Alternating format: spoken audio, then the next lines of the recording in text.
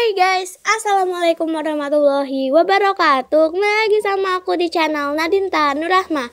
Oke guys, jadi video kali ini aku mau buat tutorial yaitu Cara menaruh link di description box video kita Oh ya guys, misalnya kan kalau kalian kan bikin video nih, misalnya cara mengedit video menggunakan aplikasi InShot. Dan guys, lebih baiknya lagi uh, link aplikasinya itu sekalian ditaruh di description box kalian supaya nanti orang-orang tuh gampang guys, tinggal klik terus langsung di apa dimasukkan ke Play Store dan tinggal install gampang kan guys.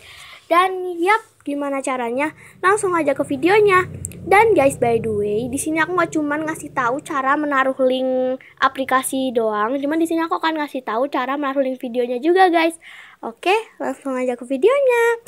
Nah, yang pertama kalian buka dulu aplikasi Play Store.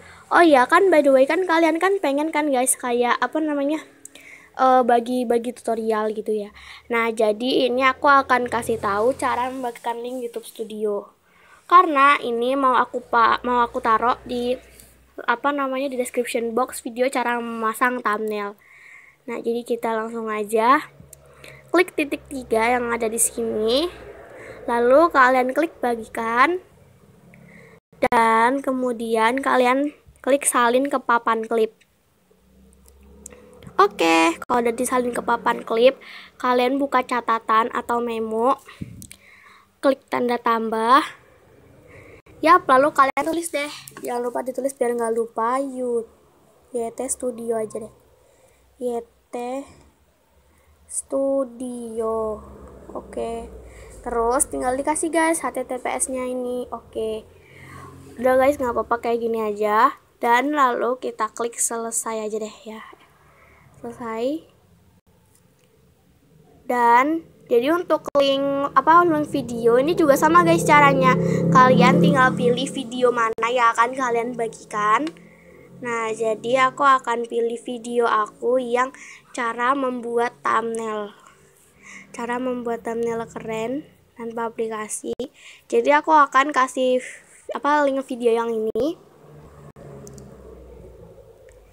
Oke, sebentar. Tunggu. Pokoknya yang sesuai dengan uh, video kali. Nah, lalu kita klik bagikan seperti biasa dan jangan lupa klik salin salin link, salin link dan lalu kita buka memo lagi. Kita klik yang tadi. Nah, jadi nanti tulisannya tuh berubah jadi kuning guys karena ini tuh link. Oke, lalu kita pilih video membuat thumbnail thumbnail keren. Jangan lupa ditulisin guys biar kalian gak lupa gitu. Oke nanti tulisannya juga berubah jadi kuning guys karena ini tuling. Oke lalu langsung aja kita kembali lagi ke YouTube. Dan kita pilih video yang akan kita edit uh, apa namanya description boxnya. Jadi aku akan pilih yang cara memasang thumbnail. Kita klik edit. Yap, jadi ini kita langsung aja. Nih, aku udah siapin link YouTube Studio. Nih. Kita kembali lagi ke memo tadi, guys. Dan lalu kita salin link YouTube Studionya. Tinggal kalian klik aja. Kita pilih teks. Jadi ini ya segini aja. Lalu salin balik lagi ke YouTube dan taruh aja guys linknya yang tadi di sini tuh link YouTube Studio. Oke, udah. Nah, sekarang tinggal link videonya. Caranya juga sama, guys. Kayak aku ngasih link YouTube Studio yang tadi. Oke. Kita tempel juga.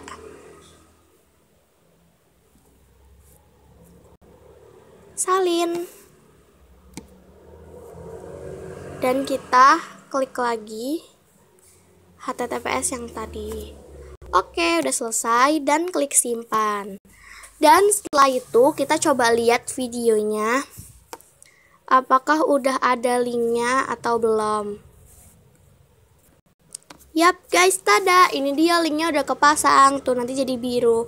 Nah nanti kalau kalian klik nanti kalian langsung ke Play Store. Nah kalau yang ini nanti kalian langsung masuk ke video aku yang tadi guys cara membuat thumbnail keren.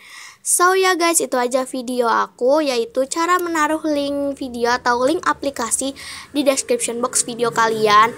Nah udah ngerti belum?